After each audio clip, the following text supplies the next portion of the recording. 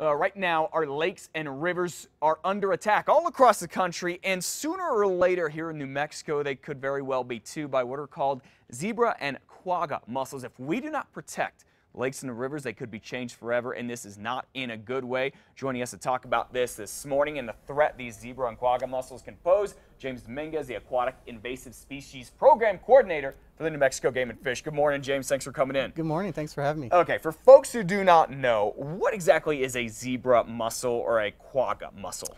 Uh, think of them as the, the normal clam, oysters type thing you see in the mm -hmm. ocean, just on a smaller scale. In uh, fresh water. And they are fresh water. They're non-native. They come from uh, the Eastern Europe uh, side of the world. Wow. So they got over here by big commercial ships back in the 80s. And then as they've made their way across the West, it's by transportation on boats and trailers and uh, different things that get in the water. They get attached and then they make their way over. Oh, okay, these are not good. They're not something you want in your lakes and rivers. They're in how many states in lakes and rivers right now?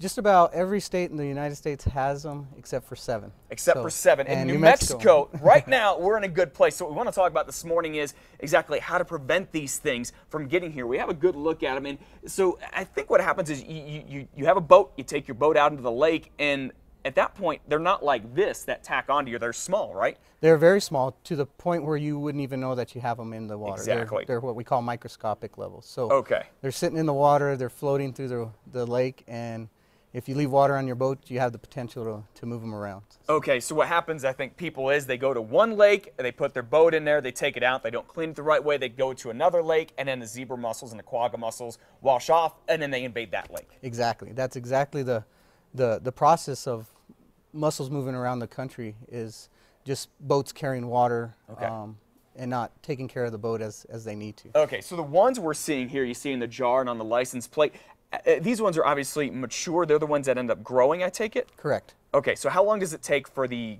the microscopic ones, basically, the ones we can't see to become like these ones? Their, their full life cycle is about four to five years. Okay. So they're, they're not long lived. The problem is they're very good at reproducing.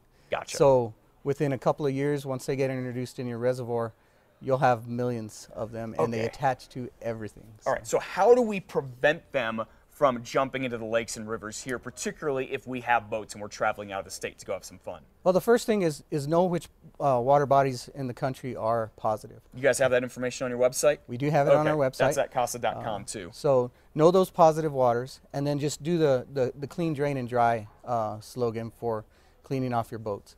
Clean your uh, clean all debris, clean all plants, anything that might be attached to your boat go ahead and get that off your boat and, and leave it at the water body that you picked it up at. It's already there. Gotcha. Uh, drain your boat. Uh, most people already pull their drain plug. Yeah. But they forget about the inner compartments. There's uh -huh. little bits of water sitting in the in the cooler or maybe your live wells, uh, bilge lines. Anywhere okay. that water can sit has the potential to transfer. Okay, and, and that's then, just good for your boat in general too. Absolutely, yeah. and, and, a lot of people are already doing this. Uh, they just don't take that extra step for mm the AIS portion. They're doing it more for aesthetics. Okay. And then the last part is the dry part. Um, once you drain it out by lowering your motor, uh, doing some of those things, go ahead and towel out things. Uh, use a sponge. Get every bit of water you can find. Get it out of the out of the boat, and then maybe even just let it sit in the sun for an extra day. New Mexico's yep. perfect for that. the sun will help dry it 360 out. plus days of sun, it, it, will dry it out real yeah. quick. real quick. Is there any way once these get in our lakes, is there any real way to get them out? You said they multiply and you get millions of them real quick. Not not really. At, at the current uh, state, we can't get them out of the water. So once they're here, it's it's a pretty devastating effect. Agriculture, uh, recreation, the environment, they're all going to have uh, uh, some sort of effect.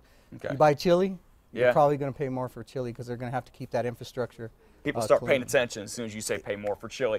James Dominguez with New Mexico State Parks and Rec. Thanks for coming in in the Thanks. Game and Fish Department. Appreciate it very much. You want to find out more about zebra and quagga mussels, how to uh, prevent yourself uh, from getting them on your boat, head to our website, kasa.com. Click on the blog.